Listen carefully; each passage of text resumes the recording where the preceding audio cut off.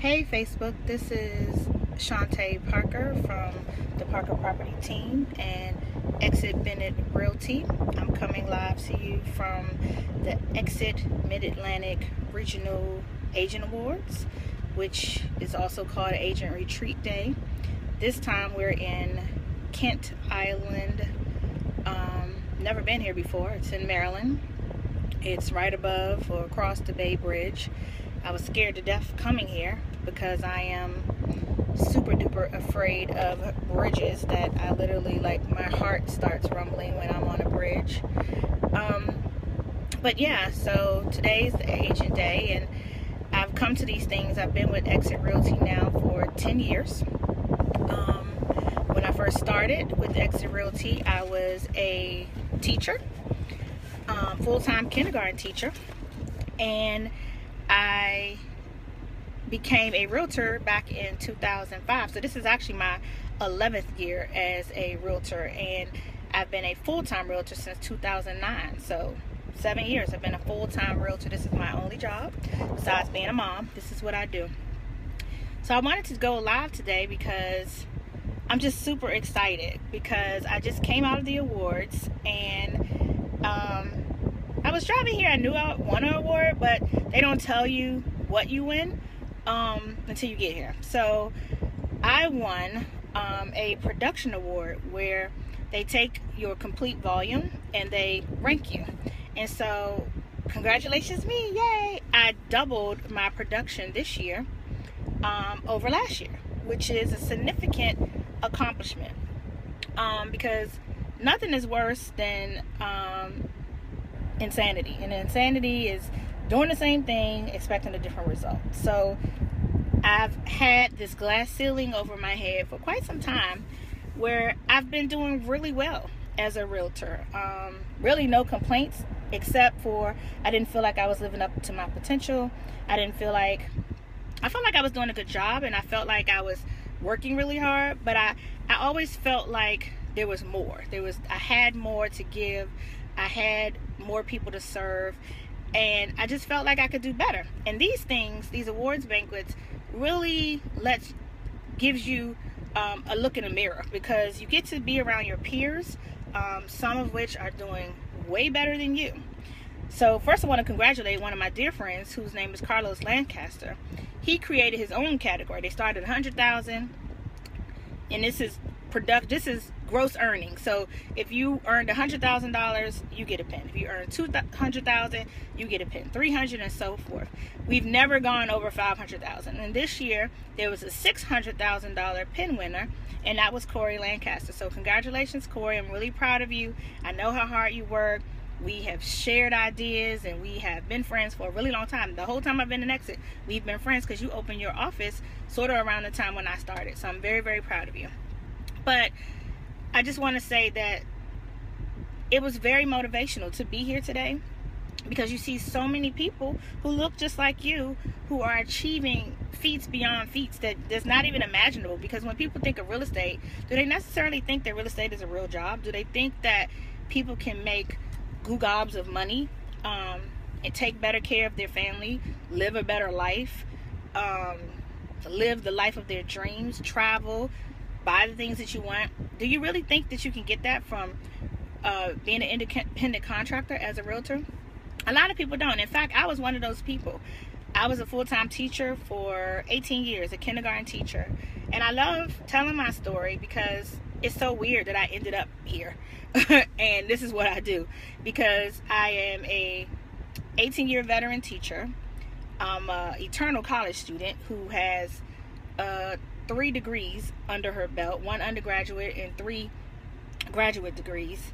Um, destined for the field of education, stayed in education really much longer than I should have because I knew early on that it wasn't for me, but I continued to do it because it was a job and I got a paycheck every two weeks and I had a child that I needed to feed or bills that I needed to pay. And so I kept doing it. And I kept doing the same old thing, making the same old salary because everybody knows if you're a teacher, your salary doesn't go up that much no matter how many degrees you have so i would have side jobs i, worked at victoria's secrets i had a tutoring business i did all types of side jobs to always try to make more and do more. But I was running myself ragged and I just would see people. In fact, my first real estate agent, whose name is David Clark, he's not on social media. My favorite real estate agent back then, he was my realtor on a few transactions. He always would encourage me, you should become a realtor. And I would be like, ah, that ain't no real job, is what I was actually saying because I didn't believe it was. Like, what do you actually do all day? and how much money do you really make doing that is were my questions and and also i was fearful like well how can i do that and make money and so he would always encourage me and i never really listened until one day i'm gonna shout out another person um, crystal she's a friend of mine crystal atkins who works for remax specialists i told her this before but i just want to tell the story one day I was in the process of getting a divorce. I had a small baby at home. I was working full time as a teacher with a classroom full of kids. In addition to the 30 kids I had, I had a part time job, so I was never home. And I was broke on top of that. Broke. Broke as a joke. And this was in 2005. And so I'm in Safeway at Starbucks, of all places scraping up change in my car to get me some coffee because I had had a stressful day and I needed something to pick me up and it was Starbucks. So literally I scraped up four dollars in some coins and I went to Starbucks to get me a tall coffee drink. And behind me in line was this mover and shaker, wheeler and dealer, Crystal Atkins, who was basically doing a real estate transaction, but I didn't know what she was doing, but it sounded very important what she was doing. She pulled up in her white 500 series Mercedes and she got out the car looking all fly and and she was on the phone and she just looked so busy and I just was like, "Wow, oh my god." And so, and actually I didn't even see her face. She just I saw this woman get out the car. And she came behind me in line and she's wheeling and dealing on the phone. And finally I I'm like, that voice. I turn around and I'm like, oh my God, it's Crystal. And I'm like, what do you do? And she said, I'm a real estate agent. And it hit me. That is what I'm supposed to do. That is what I'm supposed to do. And so I immediately left out of there, like almost spilled my coffee running out of there. I picked up the phone and I called David, who was the guy, my first realtor, who always encouraged me and said, You were right. It's time for me to do it. And that was 2005. I went and took the class that month. My first client was my cousin, who's on this call, Aaliyah Bland, now Epps, she called me and she said, I don't care if you just became a realtor, but I need you to sell my house because somebody just got carjacked outside my house. I need you to sell my house. And I said, okay. I was scared, I was nervous, but she trusted in me and she thought that I would do a good job and she encouraged me. And so I did. I sold her house, which was in Suitland, Maryland, and she bought a new house, brand new construction house, um, really expensive house out in um, Severn, Maryland. So my first month selling real estate, I, I did two transactions with totaled over, I think it was about $900,000 in gross sale. But the commission was about that I earned, not what I actually got in my pocket, but what I earned was over $23,000 in one month. Who does that? What career does that? I could not believe that I made that much money as a real estate agent. And so, considering that my salary as a teacher was seventy-seven thousand, and my take-home probably was twenty-three hundred a month at best, twenty-three hundred. That's all I was getting as a teacher. Although I made seventy-seven thousand.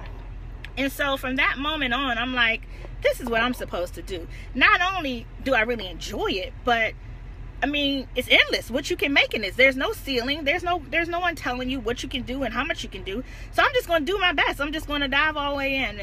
And that's when I met Exit Realty. I came to Exit Realty um, in 2005. The brokerage was right down the street from my school. Remember, I was a kindergarten teacher. And the broker touched my hand and he said, Do you believe that you can make a million dollars selling real estate? And I said, I do believe that. And he said, Well, I'm going to help you. And he touched my hand. He gave me a big hug. And it was a very small company at the time because Exit actually was just beginning at the time. Um, and I believed him though. I trusted him and I believed he would help me. In my very first year selling real estate, I made a hundred thousand dollars. So I made more selling real estate in those few months because they only calculate from July of one year to Mm-hmm. June 30th of the next year. So I started in December into June of the next year. I made a hundred thousand dollars in seven months. And first of all, you couldn't tell me nothing. I'm so excited that I did that because I never expected myself to do that. And and so to do the unexpected is always so inspirational, but I did it. I was so proud of myself and I'm like, okay, now what I do? So I continue to work and rock it out um, and soar and really focus on it. I literally would go to work as a kindergarten teacher, leave at lunchtime, go to the office, come back when my kids go to PE, go back to the office, come back, go back to the office after school, then pick up my baby, then go home and do more real estate. Like I literally felt like I had two full-time jobs and I and I started to say that I had more that real estate was my full-time job and teaching was my part-time job. Now, don't think people that I was a bad teacher because I wasn't because I was very smart, very loving and warm and nurturing. I was a really good teacher and I was very passionate about teaching because I love children. But it was something about this real estate thing that really, really took me, you know, to a whole nother level of passion, of of motivation, of zest for life, for living, and to be able to go from broke and not having nothing um, to being able to not worry about paying my bills to being able to travel and do the things I like to do. It was an amazing feeling. It was definitely euphoric and it was something that I wanted to continue to have forever until I hit this place where I was uh, I was at an open house and this lady walked in and she wanted to buy it. I was like, oh my God, what do I do? So she buys the house. With when the settlement happened, I had to take off work because the settlement was during the day. You can't tell your client you can't be at settlement. So my principal said I couldn't go. And I was just like, what do you mean? I have leave. She said, no, you can't go. You have to be here with the at work. And I'm like, oh my God. So I took off anyway, leave without pay. But that particular day was payday. And I got paid on my settlement. So I went to school, got my check, and I sat in my car and I almost cried because I looked at my real estate check. The lady walked into the open house. She got the house. I did nothing to get that client. It was literally, I worked with that lady for a total of four hours and I made $9,700 off that one transaction my teaching job, I had worked for 80 hours, two weeks. My check was $2,300. And I said, What is the question? What why are you questioning yourself? Why are you fearful? What are you afraid of? What's the worst that can happen? You fail? If you fail, what's gonna happen? You just get back up and try it again. And so from that moment on, I kept trying to come up with my exit strategy from teaching, but it was the biweekly paycheck that kept me there because I was afraid. I was really afraid that I couldn't do it. I was afraid afraid that I might fail. I was afraid of what people might say. I was afraid that I had all of these student loans and I had paid all of this money for education and now I'm gonna go be a realtor. You know, like wait, like that makes no sense. And so I talked to a couple of friends. I talked to my mom, and my mom is the most encouraging person ever. She said, I think you can do it. And I think you're never going to know until you actually do it. And Lord behold, my dad got sick um, in 2009.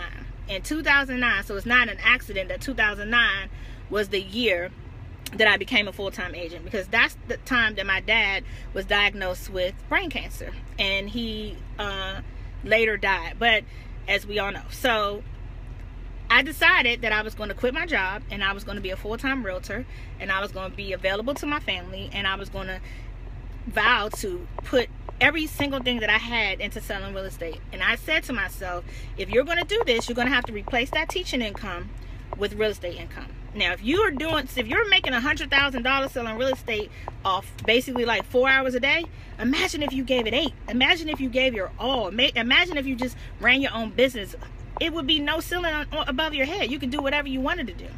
And so I did that. And so I went and I actually met with my, my current broker who is Gregory Bennett. He's phenomenal. He's he's one of the best people that I know. Not only is he smart, not only is he an excellent business person, he is a dynamic realtor and he's historically broken records and sold a million dollars and I mean earned a million dollars selling real estate year after year after year.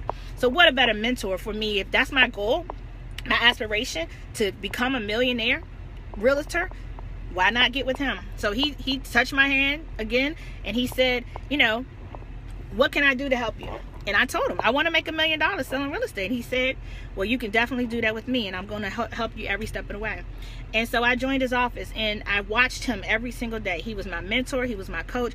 I watched him every single day. I came to the office I did exactly what he told me to do. Because real estate is not rocket science. It's actually a reinvented job that if you do what the successful people do, you'll be successful. It's like no thinking involved. You just do what the successful people do.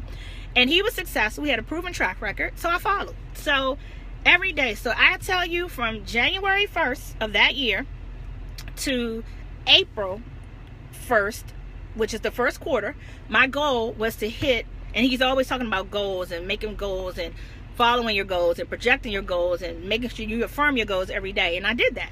And so from January to April, I made a hundred thousand dollars. Didn't take me a year, didn't take me six months. I did it in four months. I did it in the first quarter of the year. Which in our company, when you make a hundred thousand, your commission goes up. So that means now I'm going to get more of my money because I've reached a hundred thousand. And exit, you get 90 10 once you reach a hundred thousand. So that was a fantastic year. I sold more brand new houses than I ever sold in my whole life. And so I just kept wanting to do better and push. And Exit is a company that has great trainers. I've had wonderful trainers, wonderful coaches, wonderful mentors. Johnny Lowy is one of my favorite, favorite coaches. He has coached me personally. He I've been to all of his trainings that he comes to our area. Um, Alex Zinnick was one of my coaches. Jody Keats was one of my coaches. Bill Nasby, who teaches door knocking, was one of my coaches. Um, Jeff Lobb, love him. He's our technology guru. He, I still talk to him. He's a personal friend of a company where people become your friends and they, they cheer you on and they want you to succeed. And those people have really sown seeds into my life. They have really made helped me make my life better. They've believed in me, they've pushed me, they have not allowed me to stop and give up on myself. They have been examples to me. They have done over and beyond the call of duty when they didn't have to. They just are very, very good people. And you need to be in a place where you can flourish because you have a good network of people around you. So if they say it takes a village to raise a child, I think that is actually can be applied here. It, de- it definitely takes a village of support to help you be as successful that you can possibly be. And that's what I have at my office at Exit Bennett Realty. I love the camaraderie. I love my broker owner, Gregory Bennett. I love how uh, transparent he is and how encouraging he is and motivating he is. And I love that he's a living example of what I can be and do. Every Friday he goes to lunch with a millionaire. You know why he does that? Because he wants to get ideas and they're not in real estate. They're millionaires in their own right. And he gets he takes notes and he he reads books and he studies them and he he talks to them and he networks. That's what you have to do. If you want to excel in your life, if you want to take it up a notch, if you want to take it up five notches, you got to do it. You got to be around like-minded people. As a man thinketh, so is he. So you have to think you are a millionaire already before you even work towards it. So I was inspired today to do this Facebook Live. I wanted to share my story. I wanted to share the exit story. I wanted to share that real estate is a fantastic career, but it's not for everybody. It's not a job that everybody can do. One, you have to be very passionate about it. You have to love people. You have to be a people person. You have to be highly motivated and, able to handle stress because it's not an easy job at all. In fact, I have headaches and stomach aches, neck aches, back aches all the time, but I'm I'm i am able to deal with the, the, the stress and multitask this thing. Um, you have to surround yourself with mentors and coaches. You have to be teachable and coachable. You have to be able to take direction and follow the lead of others. You have to be able to pull others as you climb and be able to give back to others because it helps you become a more great, a more successful and a greater person because the gift of giving is you know, it, it feels good, but it's actually just a wonderful thing and it helps you continue to rise. Um, and you gotta like helping people. You gotta love people and you gotta like helping people. And it's no greater gift than me than to help my client move from make a decision to move from one destination to another. That's what to me exit means. I my job is to help somebody safely move through a passageway from this destination to the next destination, whether they're moving up to a bigger house, whether they're moving down to a less expensive house, whether they're relocating to a different state. I take it personal. It's my job, which means that customer service is really important to me. I take pride in what I do. I maintain long-term relationships with my clients because I love every last one of them. And when the deal is over, I have this terrible sense of mourning because I'm so used to talking to my clients every day in the transaction that I feel really sad when it's over. And so I try my very best to keep in contact with them. And and that's one of my vows this year as I'm, you know, moving forward in my life and my career to really deepen my relationships with people, especially those that I serve, especially my family members and friends. I just want to have hone in on focusing on deeper relationships. And so if I have a relationship with you, it's my goal to deepen that relationship. I want it to be the best relationship it can possibly be, no matter what type of relationship is, whether we're colleagues, friends, sisters, sorors, college mates, classmates, whatever we are, I want it to be a better relationship. So I thank you for the people who tuned in. Shout out to all the people that uh, have given me hearts and likes. I really, really appreciate it. I love you guys. Thank you, Exit Realty, for making me and helping me become the real estate agent that I am. Thank you to all my coaches. Thank you to my broker. Thank you to my mentors. I forgot to mention Koi Banks. You know you rock. Koi Banks, you have inspired me. You've been a great friend. You've also been a coach and a mentor to me as well. I'm always amazed by you and surprised. Not even surprised, because I expect you to do great things. And I'm surprised at how you just still in it. You still in the game. Your head is in the game. You stay focused. You accomplish the things you want to accomplish, and that's contagious. And I love that. And I appreciate that. Appreciate that. Even though we're not in the same company, we're not in the same office. We're still in the same company. You continue to support me and cheer, lead for me as I do for you. And I love that. And I appreciate you. And all my other realtor friends, I love all of you. And thank you for helping me, encouraging me, and thank you for supporting me and all my clients. Thank you because without you, I couldn't do any of this, any of it at all. Thank you for referring your family members, friends to me, and coworkers.